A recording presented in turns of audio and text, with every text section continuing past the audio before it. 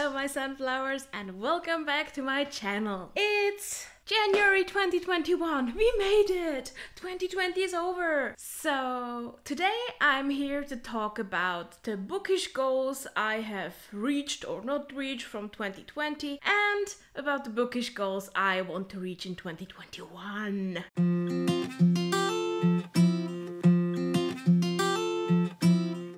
Get into it. If you're interested what my goals were, actually look up my video about the bookish goals from 2020. It was quite simple. The first goal was read 100 books. Yeah, I did that. I read 173 books in 2020. I had a lot of time.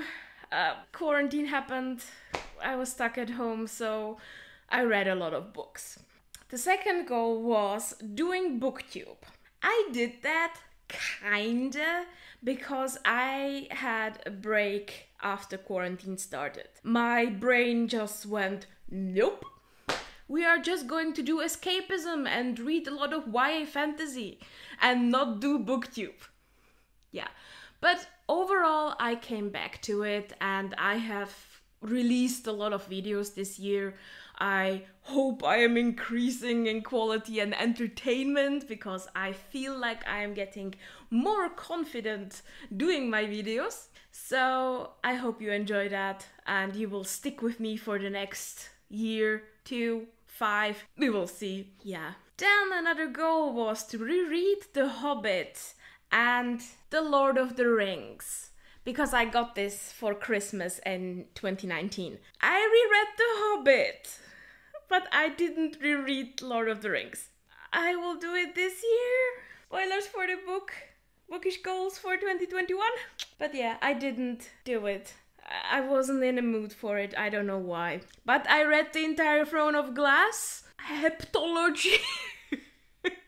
so yeah, mm-hmm. priorities. I wanted to reread the Record of a Spaceborn Few by Becky Chambers, and I didn't do it because I wasn't in the mood for it. I had a lot of great books around to read, so I didn't.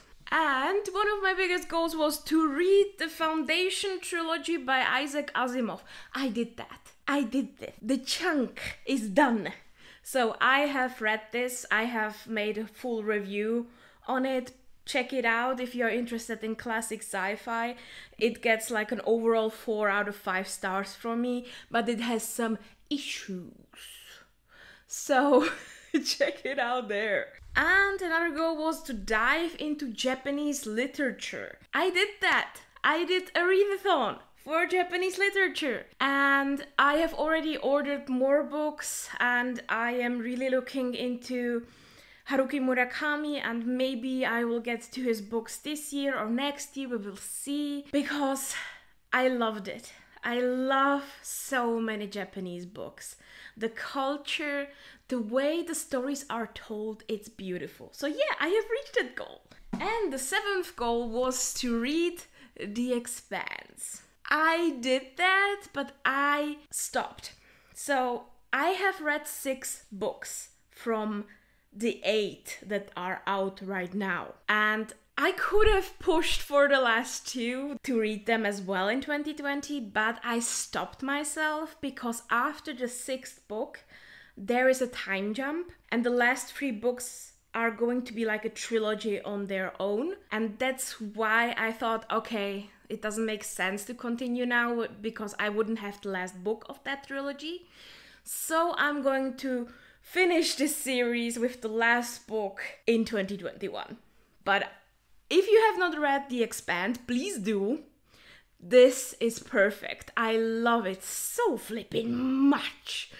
I cannot explain that. That's the space opera about humanity we need, we deserve. It's perfect. I, yeah, please read this. Yeah. And the last, like, kindish goal was to dive into historical fiction because I suspected that I don't like it.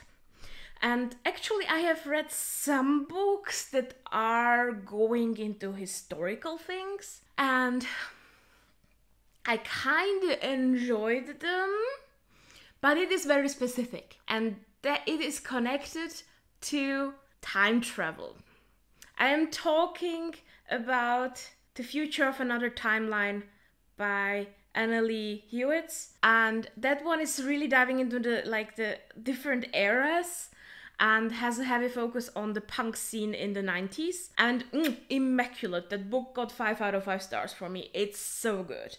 So I kinda did that, but I didn't go like full on historical stuff. So maybe I will put it on my goals in some other year, but right now I'm still feeling like, yeah, maybe someday, but it is not really the genre I am in love with.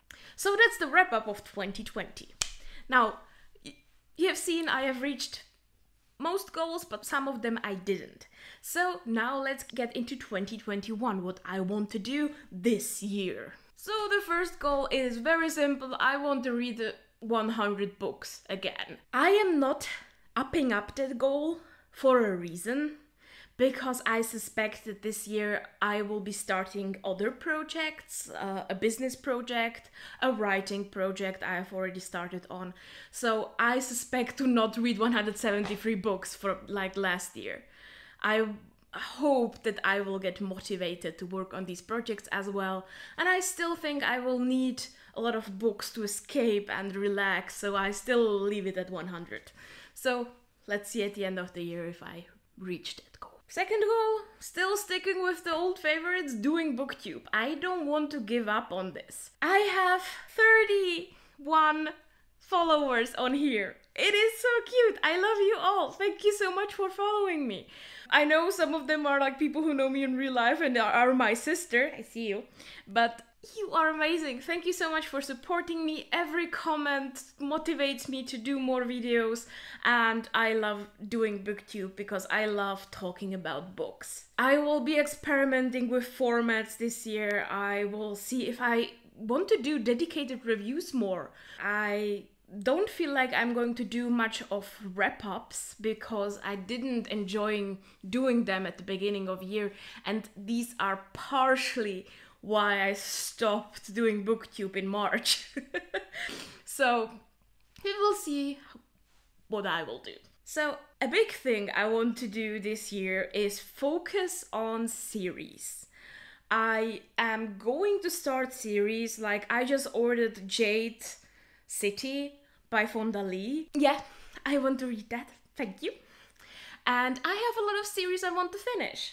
The Expanse, for example, the last book, uh, how, how is it called? Leviathan Dies? Something like that. Um, is the last book and is coming out in autumn this year. So I will be finishing this series this year and I cannot wait for it. Yay! I will be also continuing with this series. The Rage of Dragons by Evan Winter, in the hope that there will be more dragons in the next book books. But we'll see. This book came out of nowhere. I didn't expect to love it, and while reading it, I did I didn't completely love it, but it stuck with me. This is this is like in my brain, and I must concede and say even though I am not one for revenge plots, this book is a masterpiece. Thank you. so yeah, I will be continuing with this one. I will also be continuing with this one from Blood and Ash by Jennifer L. Armentrout. This is BookTok influence. Spoilers for the next video, by the way. So, this is a romance spicy fantasy, and I flew through the first two books, and the third book in this series is coming out in April, and I cannot wait for it. Let's get into this two series of Sarah J. Maas I want to continue this year. First up is Crescent City or House of Earth and Blood, uh, and the second book is supposed to come out this year as well. So I cannot wait for the second book. This was so good. Yeah, this was the first Sarah J. Maas thing I read last year, and since then I have read the entire ACOTAR series, so I will also be reading uh, Court of Silver Flames and watch that train wreck happen to the booktube con- community because this is gonna be mwah, fun entertainment that is so gonna be disastrous so yeah um i will be continuing this one as well. I am looking forward to it. I think her books are lacking diversity, but they are still so fun to read. Okay, this is the like the epitome of my escapism thing. I just want something that pulls me in, makes me cry, makes me laugh, and makes me ship things for a few days. Okay? Yeah. Another series I want to continue is the Red Rising books. Uh, and I have read the first three, and I have already Iron Gold and Dark Age on my shelves. And the last book is coming out this year as well. So, the second part of this six book series I will be reading this year, and this is gonna destroy me. I know that because this this series is just pure drama. It's Game of Thrones in space. yeah. Amazing. I love it. The fifth goal I want to focus on in 2021 is to savor my books. Sometimes when you are reading the books for the first time, you want to know what happens. What will happen in the next chapters? And you fly through them. I do a lot. And in the end, I know what happened. I cried, I loved it, but I didn't savor the journey. So I am going to try stepping on the brakes while reading sometimes, trying to enjoy it because they deserve it. The books deserve my attention, okay? So, yeah, that's one of the goals. Sixth goal is focusing on diversity especially LGBT diversity, but also ethnical diversity. I would love to read from different countries, different people, more black authors, more Latinx authors, more Asian authors. I just want to broaden my horizon. So if you have any recommendations for that, please do. Please leave it in the comments. I would love that. I have looked into the diversity of my shelves last year because of the whole discussion that that was going on BookTok and it is not like straight white on there but there is still a lot of room for improvement and i have already added a lot of great books to my bookshelves that are in these like diverse categories and I am just looking forward to add more. These books need our support. They are important to everybody in our communities, so I will love to read more of those. And another goal is I want this year to reread more books. Specifically, I want to reread at least 10 books. I have 3 right here. And I would love to reread those soon also, I am planning on rereading Eragon by Christopher Paolini because I am planning a small readathon around dragons.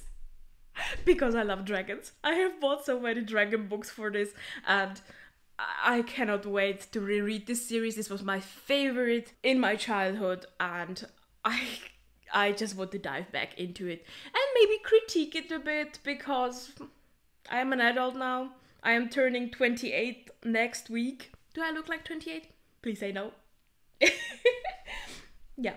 So um, that would be interesting. I'm looking forward to that video and uh, to this series because the inheritance cycle is beautiful and Christopher Paolini is a gift.